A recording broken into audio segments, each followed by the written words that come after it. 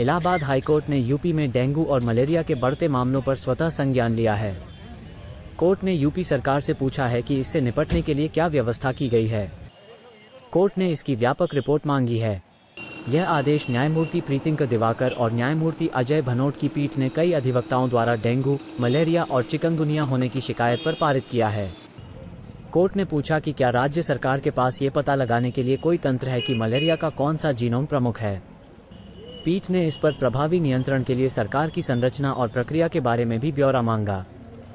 अपर महाधिवक्ता मनीष गोयल ने कहा कि मच्छर जनित बीमारियों से निपटने के लिए पूरी तैयारी की है और कार्यकारी तंत्र पूरी तरह से काम कर रहा है। मच्छरों पर नियंत्रण के लिए कार्यवाही की जा रही है। हालाँकि, कोर्ट ने मामले में 6 नवंबर की तिथि तय करते हुए विस्तृत रिपोर्ट प्रस्तुत करने को कहा। कोर्ट ने यह भी कहा कि वो इस संबंध में विस्तृत आदेश पारित करेगी।